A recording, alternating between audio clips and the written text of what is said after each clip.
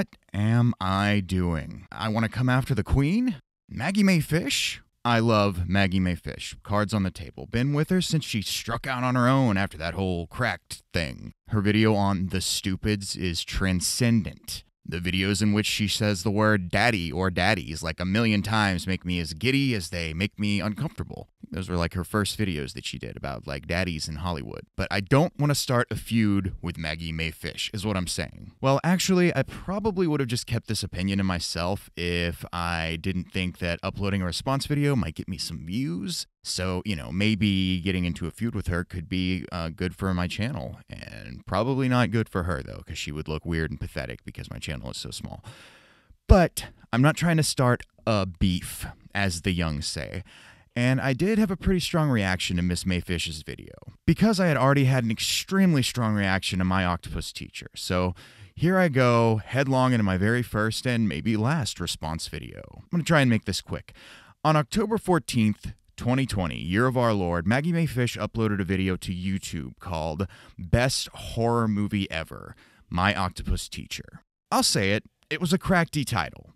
I used to read Cracked a lot before everybody got fired, and this is exactly the types of takes I would always see on that site. Not that there's anything wrong with that. Well, it did start feeling a little gimmicky after a while. Uh? Why Silence of the Lambs was actually a comedy the whole time? But I get it. It gets clicks, and I'm certainly not above that sort of thing. In fact, I always wanted to freelance for Cracked, but I just thought my brain wasn't smart enough or something. I think maybe because everyone over there always seemed so confident, and I was comfortable writing features for local entertainment magazines. I was scared of the rejection, I guess. And also having quite a few personal problems for a good seven or eight year window there, but that's another story for another day. So, yeah, Queen Fish dropped a video about why My Octopus Teacher is actually a horror movie, which is a fun thing to do. And it just occurred to me that her name's Fish, My Octopus Teacher, you know, those things are related. Anyway, the video, which is of course linked in the description of this video, and I highly recommend you watch it before making a judgment. The video argues its thesis quite well, and it's a very good, entertaining video, even though it did kind of annoy me at times. Fish describes the documentary My Octopus Teacher as a post colonial meta narrative about the horrific way that some people, especially white people, are compelled to make nature about themselves. My issue with this is not the white people part. I think it is a bit of a stretch, but hey, colonialism seeps its way into everything. While this characterization is clearly meant to be at least somewhat tongue in cheek, it summarizes the main source of my disagreement with Fish's video's thesis. What does it mean to make nature about oneself? For such a thought to even occur to someone, they have to see themselves as fundamentally separate from nature, right? I think this is an error that humans tend to make for understandable reasons. Certainly, we live apart from nature, or at least what we think of as nature. But like it or not, we are animals who live on this planet, and I would argue that seeing ourselves as separate from nature is not only the cause for many of humanity's immediate problems, but also one big reason that this planet's ecology is currently in rapid decline. Fish asserts that the narrator's tendency to anthropomorphize the octopus, express curiosity about what's going through its mind, and people's general tendency to project their own perspectives onto animals is narcissistic and arrogant. But I would assert that seeing ourselves as separate from nature is truly narcissistic. In trying to exercise humility about nature, Fish ironically assumes a self righteous, judgmental posture about the documentary's narrator. In fact, Fish has the fantastic YouTuber Jose read a passage from Douglas Adams about his experience interacting with gorillas, using it to emphasize that we should try to understand animals on their own terms. I found it strange that she tried to use this passage to contrast with the attitude of my octopus teacher's narrator. While he does so far from perfectly, the narrator seems to bend over backwards to try and do exactly what Adams advocates for. It's Fish who projects her own extraordinarily uncharitable interpretation onto the mindset of the filmmaker often unfairly in my view. So, my cards on the table. The stuff that the narrator is talking about at the beginning of the film is very intimidating and admirable, from where I'm sitting anyway. I have a weird relationship with nature. I, I, revere nature, love spending time in it, learning about it, connecting with it, but I'm also a product of my environment. I don't do great in nature, but I love it. And I try to regard it as an extension of myself. Am I getting too weird with this? I've, um, journey to other dimensions several times, and I feel like I bring back a teeny tiny bit with me every time I come back, so maybe I've just gone full weirdo at this point. Now I'm like one with the earth and shit. If you think I'm galaxy braining right now, you might want to go ahead and turn this video off because I think it's going to get a lot weirder. And when I look So- at people who sell all their shit to live in solitude in a cabin in the woods, or people who hike the Appalachian Trail, folks who move to some remote place and pick grapes or whatever, or a lady who lives among a group of mountain gorillas for a year, or yes, weirdos who forego scuba gear and a wetsuit to pursue potentially problematic relationships with sea creatures. My reaction isn't what a crazy weirdo, like perhaps some people are more prone to think. My first thought is, wow, I wish I could just let go and embrace a scary alien experience like that. I just think there's so much we can learn by assuming different perspectives like that. And appropriately, or perhaps ironically, that's exactly what Maggie Mae Fish's video does assume the perspective of the octopus. I think she does this to great effect, but it also creates some blind spots, which I'll get into in a little bit. Some direct quotes from the narrator slash star of the film, Craig Foster is his name, explain how he was trying to inhabit the mind of an aquatic creature and the lengths he went to to do so. I want to be more like an amphibious animal. Instinctively, I knew not to wear a wetsuit. If you really want to get close to an environment like this, it helps tremendously to have no barrier to that environment. Eventually, after about a year, you start to crave the cold. I would love to be able to do those things, but I'm too uh, scared. But I think it's pretty amazing that he did those things, and I'm endlessly fascinated with what he learned from this experience. Yeah, I'm sure we could psychoanalyze this guy to death, and I do highly recommend Miss Mae Fish's video again. It brings up some great points that just didn't occur to me, probably because I went into it with this bias of thinking that what this guy was doing was fundamentally awesome and admirable. I think she makes a lot of uncharitable assumptions about the guy himself, but her interpretation is still extremely valuable. I was primed to love this guy and his documentary for the aforementioned reasons, and I'm the first to admit that I'm an easy mark for this type of thing and narrative emotional manipulation in general. Side note the YouTube channel Quinton Reviews has a lot of great videos, and one of my favorites is called How Documentaries Lie to You uh, really helpful for thinking critically about an art form or medium that lends itself to deception. Also, the decline of the History Channel on Quinton Reviews is another great video. That that's just a hot recommendation. Has nothing really to do with what I'm talking about here. Anyway, I want this to be kind of a quick take as I'm trying to do more political stuff on this channel, but I just had to go ahead and get some thoughts out about this before everybody's forgotten about it. I, of course, considered doing a point by point rebuttal, but that's not really where I want this video essay thing to go. And it's not really what I want my channel to be about. Just as I can't be inside the mind of Foster, the subject of the documentary, or the octopus, I can't really know exactly what Ms. Fish was thinking or going for with her video. I'm trying to be as upfront with my bias as possible because that's really the main and maybe the only thing I think her analysis is really missing. My initial reaction to her video was a little grumpy. Basically, I was thinking Maggie Mae Fish is exaggerating or misrepresenting this documentary to fit her clickbait crackty title. Oh, how smart brain. You found a way to frame everything in this documentary differently and present it from the octopus's standpoint, which made the film seem more like a stalker, thriller, horror film than a documentation of interspecies bonding. But Actually, I don't want to denigrate that practice. I think it's great that she found a way to do that. We should always try and inhabit different perspectives, whether we're consuming the news, fiction, or a highly biased documentary presenting itself as nonfiction. And I could totally see how someone with Miss Fish's background, or anyone who has written or consumed a lot of those crackedy, crackedish, cracked-esque, it was actually this way the whole time type articles, might have trained herself to make questioning the framing or presented perspective her default mode when consuming media, especially nonfiction stuff. And I think it's a good impulse to have. It's certainly not my default impulse, but it's pretty useful. If it is the case that she made inhabiting a different perspective her default mode, or if she just made an executive decision to present everything from the perspective of the octopus in her video essay, I think that's an extremely valuable impulse. And I agree, at least in spirit, with many of the conclusions this led her to.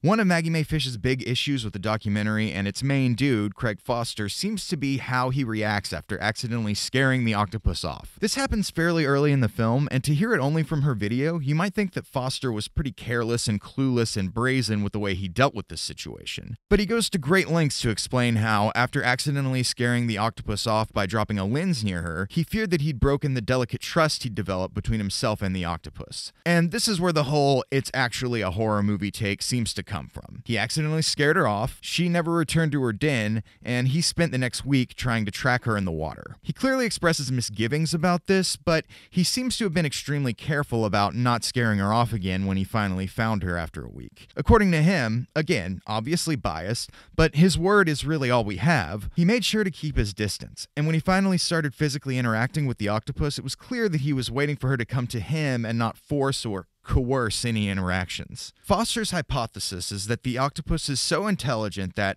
after realizing that our hero wasn't a threat, she started voluntarily interacting with him to satisfy her own curiosity. We have no idea what it's like to be an octopus, but we do know that they're extremely intelligent, and as animals who are also uniquely intelligent in our own ways, we as humans have a potentially useful perspective on what they experience.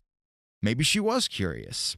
We always run the risk of anthropomorphizing animals, but we can't really avoid doing so to some extent. This doesn't mean we should avoid speculating or attempting to gain insight into a non human animal's experience, just that it's important to acknowledge that we'll always have that bias. We have to have some frame of reference to analyze anything, and being human is a pretty difficult thing to step outside of. In essence, I think Maggie Mae Fish's impulse that this type of thinking should be off limits is a little too prescriptive for my tastes. We should enthusiastically inhabit every perspective we can. Another broad criticism Maggie Mae Fish levels at My Octopus Teacher is its apparent lack of scientific or educational information. While it's true that you won't learn a whole lot of hard information from this documentary, that's clearly not the point of the film. The narrator does point out that, in spending several hours a day around this octopus, he routinely observed behavior that had previously been unknown to science. However, he doesn't go into much detail about this new information, aside from how doing so illuminates some footage and the overall narrative of the story.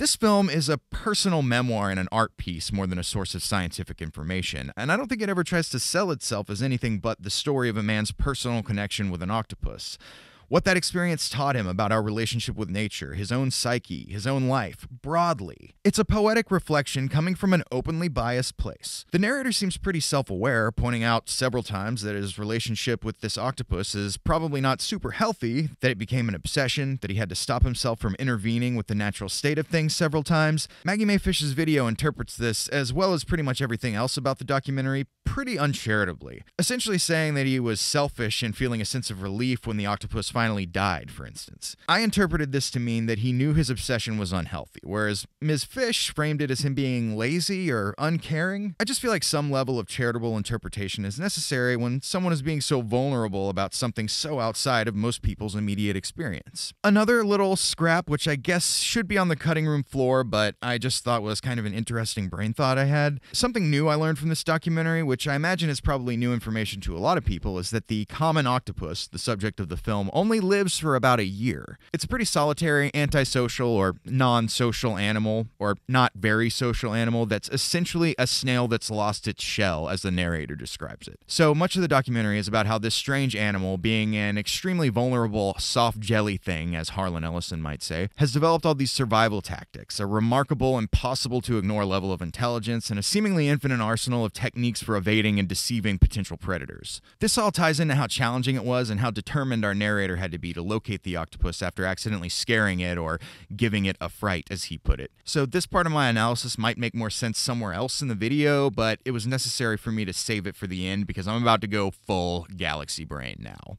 So, hold on tight. I found all this information evocative of the mysteriousness of consciousness, even the concept of a soul. Please let me try and explain. We think of a human's intelligence, their store of knowledge, their personality, even, as something that develops over a lifetime. An octopus lives for about a year, lays her eggs, then dies before she ever gets to pass on any knowledge to her young.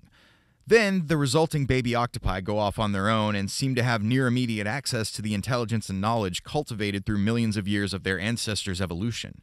That's fascinating, right? How does that work? I don't know, it just got me thinking about consciousness, gave me a sense of wonder about how little we know about it. I mean, is your consciousness this isolated thing like how we tend to perceive it, or is it part of some greater collective elemental force that we can't perceive from within our meat bodies? And like when we die, we rejoin the great fabric of consciousness or something? A literal minded person might scoff at this. There's no evidence of anything like that being real, of course, but it's fun to think about. It's poetic, and as long as you don't mistake that narrow set of facts for indicating anything that anyone should strongly believe, or indicating anything concrete about reality, who knows what kind of inquiry something like that can lead to? Hard literal science can lead to poetic thoughts like that, for sure. But I think the fact that this documentary is more of an emotional snapshot, more of an art piece than a hard science documentary, lends it to more exploratory, metaphorical thinking. which is just as valuable as literal scientific thinking. Something I think we forget about in more secular modernity. Just something to chew on. There should be space for all lines of inquiry. I think Maggie Mae Fish brings up some fascinating points in her analysis, though I don't always agree with her framing or the conclusions she arrives at. My octopus teacher is clearly biased toward the perspective of the narrator, the main and pretty much only human character, Craig Foster, and I think it's tremendously valuable to question that perspective and try to see the events from the octopus's point of view. It's essential to effective critical thinking that we acknowledge our biases and actively pursue various interpretations of events and information. Uh, Vicki1999 is a fantastic leftist YouTube channel channel that does this particularly well. She has a video called The Cold War from the Soviet POV Bias in Storytelling that opens with the phrase, This video is historically accurate, just biased. She does an incredible job of illustrating how propaganda can effectively communicate a narrative without ever actually lying or even really misrepresenting facts. Via strategic framing, careful phrasing, and the selective omission and inclusion of key information, a source can leave its audience with a wide variety of drastically different, even seemingly contradictory conclusions. With an example like the Cold War, we've had a narrative fed to us in the United States that conveniently paints capitalism as an unambiguously positive force and socialism or communism as an unambiguously negative one. Never mind that this narrative is always filtered through the perspective of a capitalist country whose biggest enemy was the poster child for communism for over half a century. The idea of Vicki 1999's video is not to make you realize that the Soviet Union was actually really great, just that it's absurd to think that we're given anything close to an objective account of the events when we learn about it in the US question all narratives, especially ones with obvious bias like that. I bring up this example to emphasize how much value I genuinely see in the it's actually a horror movie from the octopus's perspective approach. But I think her video takes that interpretation a little too far, to the point of misrepresenting important information from and about the film. So that's pretty much my take. I encourage you to watch the film, watch Maggie Mae Fish's video,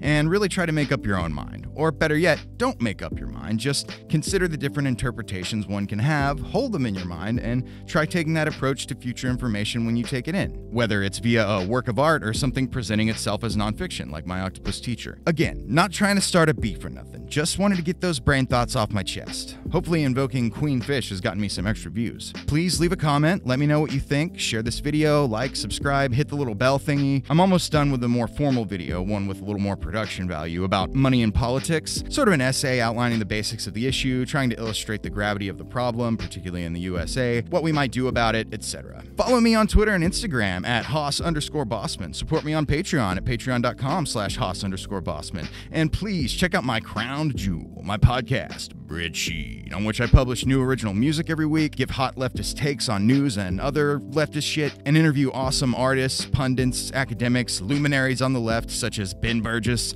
Chris Crofton, Rachel Quirky Shank, Investigate Joe Rogan, Kristi Yamaguchi Main, David Griscom, and a lot of other awesome luminaries like Robbie Martin and some professors and stuff coming up soon. That's Breadsheet, available on all major podcasting apps and linked in the description. Thanks for tuning in. I've been Hoss Bossman, and I'll see you real soon for that Money in Politics video. Mwah.